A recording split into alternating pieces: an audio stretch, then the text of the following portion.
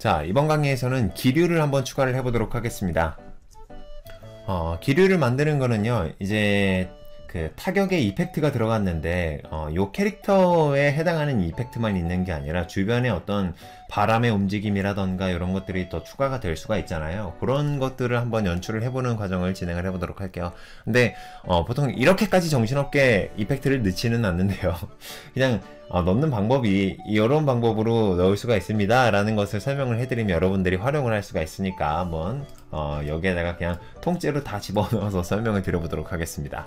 자, 일단은 어, 하얀색 타격 이펙트 팩을 꺼내주시면 좋을 것 같아요. 자, 하얀색 타격 이펙트 팩에서 좀 내려가다 보면 자, 이 그 기둥 기류 이펙트 팩이 있어요. 근데 여기에서 첫 번째, 두 번째 거는 첫 번째, 두 번째 거랑 그리고 마지막 거 다섯 번째 거는 음, 아무래도 좀 기술을 사용을 할 때 기둥이라던가 이런 것들을 묘사를 할 때 가장 적합하게끔 만들어진 거고요. 어, 실제로 바람의 흐름이라든지 이런 것들을 표현을 할 때는 어, 세 번째, 네 번째 거, 어, 12번, 13번을 활용을 해주시면 되겠습니다. 근데 저는 어, 12번을 먼저 한번 사용을 해보도록 할게요. 자, 얘를 drag and drop 해주시고요.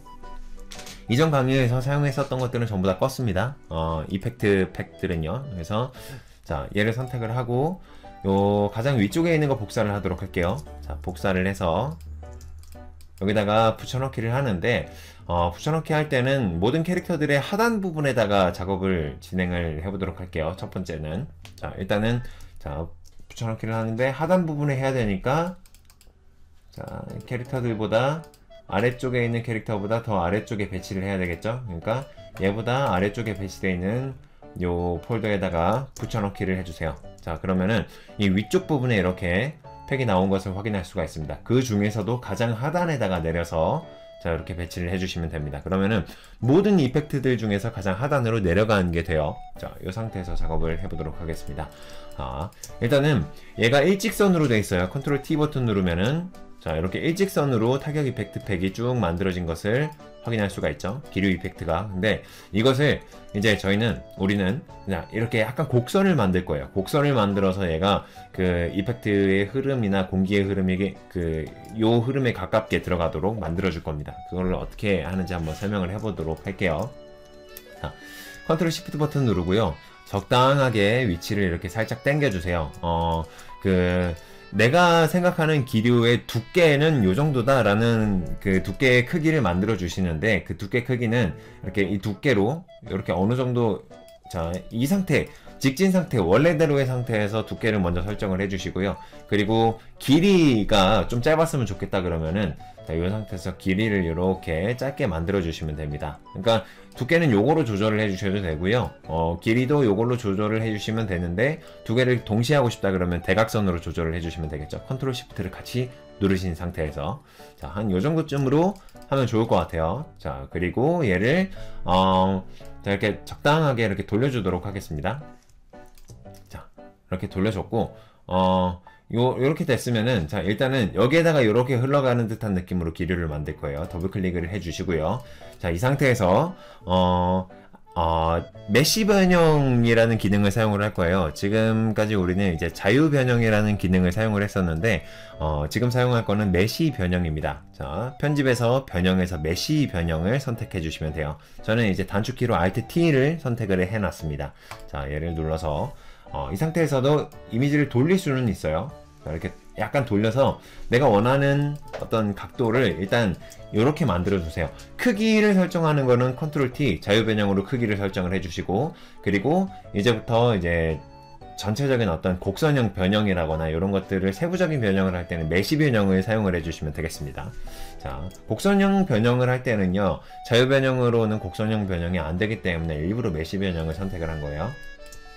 그래서 안쪽 부분은 조금 모아주세요. 이 제어점들을 활용을 하는 거거든요. 자, 제어점들을 이렇게 모아주시고 모아주시면은 그림의 하단 아래쪽 부분이 좀 이렇게 어, 얇아져서 좀 이펙트가 끝나는 듯한 느낌이 듭니다. 그래서 요 위에 있는 점들도 네 개들도 이렇게 아래쪽으로 쭉 모아주세요. 자 그리고 얘네들이 얼마만큼 곡선으로 이렇게 돌아갈 것인가를 설정을 해줘야 되는데 자 일단은 이렇게 약간 더 곡선으로 이렇게 살짝 돌아갈 수 있게끔 자 이렇게 만들어서 여기에서 이렇게 돌아가게끔 만들어 주도록 할게요. 자 얘네들을 약간 더 아래쪽으로 내려서 곡선이 돌아갈 수 있도록.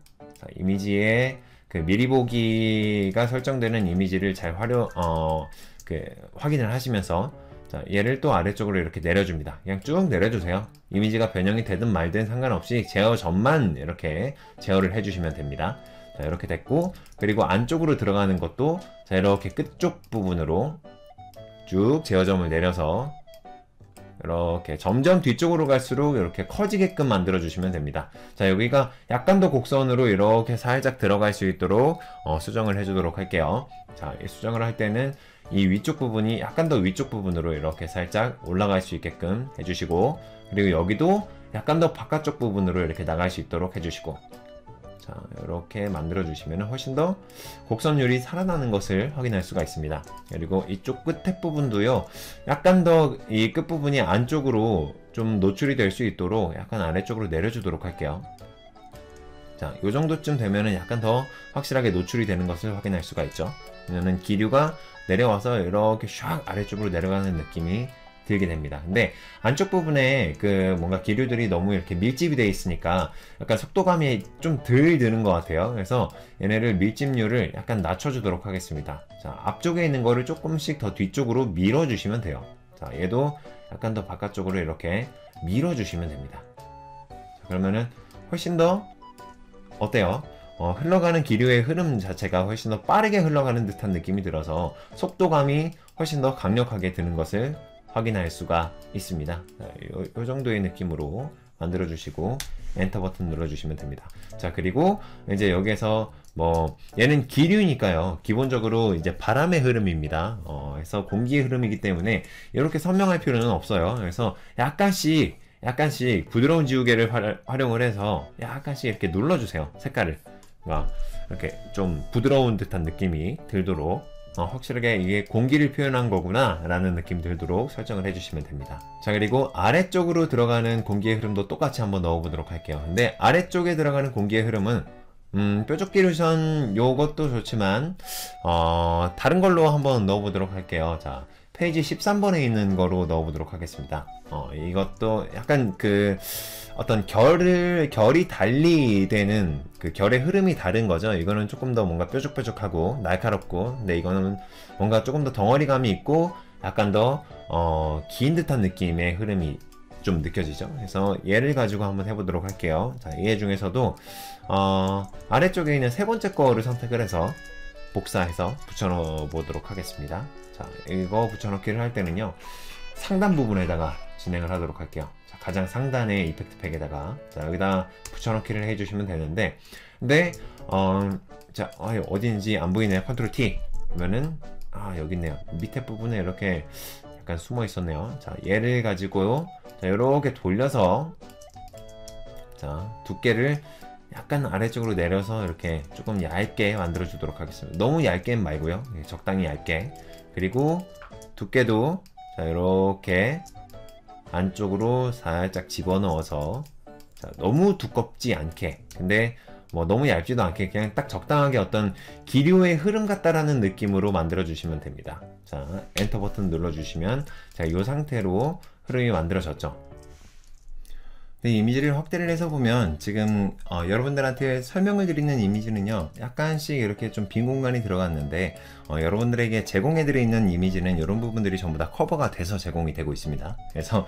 어, 이거는 이제 어, 그 편집이 되기 전에 그 데모 상태의 그 파일을 활용을 해서 만들었기 때문에 자 이런 부분들이 이렇게 보이는 거라고 생각해 주세요. 여러분들이 사용을 하실 때는 전혀 문제가 없습니다.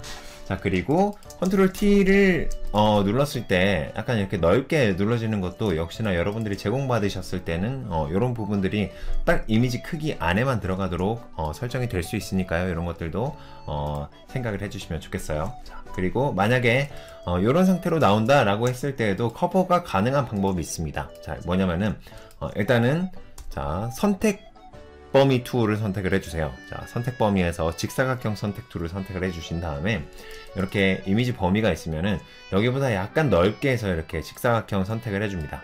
약간 넓게 해서 그리고 편집에서 선택 범위 이외 지우기를 눌러주시면은 어, 다시 정확하게 컨트롤 D 버튼 눌러서 어, 선택 범위 없앤 다음에 컨트롤 T 누르면은 정확하게 이 범위 안에만 이렇게 선택이 되는 것을 확인할 수가 있어요. 자, 자 이렇게 된 상태에서 어, 메시 변형을 넣도록 하겠습니다. 메시 변형 넣는 거는 아까랑 동일한 방법으로 들어가고요. 이거를 살짝 또 이렇게 돌려서 자, 한 요 정도쯤에서부터 시작을 해서요. 이번에는 여기는 뒤에서 약간 중간에서 나왔다면은 자, 요 그 기류 흐름은 앞쪽 부분으로 약간 더 피, 삐, 삐져나가서 자, 이렇게 앞부분에서부터 타격 지에서부터 앞부분에서부터 이렇게 뒤쪽으로 이렇게 곡선으로 들어가는 느낌으로 한번 만들어 보도록 할게요. 자, 여기서 메시 변형을 할 때 그 메시의 개수를 늘릴 수도 있습니다. ESC 다시 한번 누르고 자, 메시 변형을 누르면은 어, 가로 격자 점 수를 4개, 5개, 뭐 6개 이런 식으로 늘릴 수 있고요. 그리고 세로 격자 점 수도 그렇게 늘릴 수가 있어요. 근데 저는 가로를 뭐 하나만 더 늘려보도록 할게요. 이거 줄일 수도 있고 늘릴 수도 있는데 너무 많으면 또 이렇게 편집을 하기가 힘들고 너무 적으면은 어, 편집을 했을 때 자연스러운 느낌이 좀 많이 떨어질 수가 있기 때문에 그냥 적당한 정도로 이제 여러분들이 어, 설정을 하시면 되겠습니다. 저 같은 경우는 4개에서 5개가 적당한 것 같아요. 네, 그래서 이렇게 설정을 하고 자, 이 상태에서 한번 변형을 진행을 해보도록 하겠습니다. 자, 여기서부터 이렇게 곡선으로 흘러 들어가는 거니까요. 일단은 시작 부분을 살짝 모아주도록 하겠습니다. 자, 이거는 기류니까 어, 자연스럽게 없어지는 부분이 시작 부분이라고 생각하시면 되겠죠. 그래서 여기서 좀 더 아래쪽으로 이렇게 내려가고 자 꺾이는 게 이제 정확하게 보이시죠? 자 그리고 여기서도 아래쪽으로 조금 더 내려가서 약간 더 커지고 이제 내려갈수록 점점 점점 어, 이미지의 크기가 약간씩 더 커지는 듯한 느낌이라고 생각하시면 좋을 것 같아요. 자 이렇게 이렇게 됐고 그 다음에 쟤네도 마찬가지로 아래쪽으로 쭉 내려주시는데 이렇게 쭉 가장 끝에 부분의 기류는 어차피 이쪽 끝 부분은 안 보일 거니까요. 어, 자연스럽게 이 마감만 될 수 있을 정도의 자, 느낌으로 만들어 주시면 됩니다. 자, 이렇게 가주시면 되는데 이 전체적인 이미지를 봤을 때 이 앞쪽 끝 부분이 좀 너무 긴 듯한 느낌이 있죠. 그러면은 자, 이 부분을 이렇게 살짝 당겨 주세요. 자, 이렇게 살짝 당겨서 앞쪽은 좀 오밀조밀한 느낌으로 가고 뒤쪽 부분부터 확실하게 확 속도감 있게 이렇게 휘어져서 들어가는 느낌으로 작업을 진행을 해주면 좋을 것 같아요. 자, 여기도 약간씩 더 아래쪽으로 이렇게 내려주면은 훨씬 더 자연스러운 어떤 곡선감을 느끼게 해주면서 작업을 할 수가 있을 것 같습니다. 자, 이 정도의 느낌이면은 좋을 것 같아요. 자, mesh로 보여드리면은 한 이 정도의 느낌이고요. 자, 이 정도의 mesh 느낌입니다. 이렇게 안쪽은 조금 모여져 있고 뒤쪽은 점점 점점 더 퍼져 있고요. 자, 이런 느낌이야. 이 mesh가 지그재그 된 듯한 느낌이 있는 거는요. 여러분들의 의도에 따라서 약간 더 이렇게 꺼낼 수도 있고 아니면은 조금 더 이렇게 들어가게 만들 수도 있고 그러니까 여러분들의 의도에 따라서 연출을 해주시면 됩니다. 그래서 엔터 해주시면은 자, 요대로 어, 요 기류가 적용이 되는 것을 확인을 할 수가 있고요. 자, 이 상태에서 또 어, 부드러운 지우개를 활용을 해서 약간씩 자, 기류니까 좀 어, 불투명한 느낌으로 눌러주도록 하겠습니다. 얘는 너무 이렇게 강조가 되면 안 되니까요. 강조가 되는 거는 여기에서 타격이 있는 이펙트 부분이 강조가 돼야 됩니다. 그래서 뭐 먼지나 연기 같은 기류 같은 것들은요. 그렇게 강조가 되면 안 되니까 약간씩 지워준다라고 생각해 주시면 좋을 것 같아요. 부드럽게, 불투명하게. 자, 요 정도의 이미지까지 만들어 주셨으면은 이제 전체적으로 완성이라고 보시면 되겠습니다. 음, 굉장히 간편하게 이펙트를 만들 수가 있죠. 보통 어, 저가 작업을 한다고 해도 이 정도 이펙트를 일일이 하나씩 손으로 그린다라고 했을 때는 반나절 정도 걸리거든요. 진짜로. 왜냐면은 자, 이, 런 것들 이 effect의 안쪽에 있는 effect 있잖아요. 이런 거 하나하나 일일이 손으로 그어야지만 이런 느낌이 나는 거거든요. 그래서 어, 이런 거를 하나씩 하나씩 그린다라고 생각을 해봤을 때 어우 스트레스 받네 갑자기 그래서 근데 그냥 컨트롤 V 컨트롤 C 그러니까 복사 붙여넣기를 활용을 하면서도 자연스럽게 어, effect를 만들 수 있으면서도 효과적으로 effect를 만들 수가 있으니까 어, 이런 이펙트 팩을 활용을 하시면서 작업을 하시면은 작업의 효율성이 비약적으로 높아지게 된다고 생각합니다. 그래서 어, 저도 일단 제 작업을 하는 거를 염두에서 이 이펙트 팩을 만든 거라서요. 여러분들이 사용을 하셨을 때에도 충분히 만족하시면서 사용을 하실 수 있을 거라고 생각을 합니다. 일단은 이펙트 어, 기본적인 이펙트 그 광원 이펙트 사용하는 방법은 여기까지 설명을 드리도록 하고요. 이제 여기에서 이제 추가적으로 약간씩 자연스럽게 후보정을 하는 방법은 다음 강좌에서 설명을 드리도록 하겠습니다. 이번 강좌는 여기에서 마무리하도록 하겠습니다. 고맙습니다.